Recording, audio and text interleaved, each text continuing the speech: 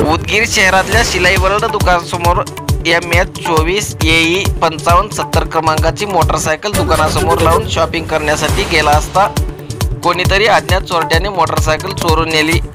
असल्याची तक्रार अमोल व्यंकटराव पोतदार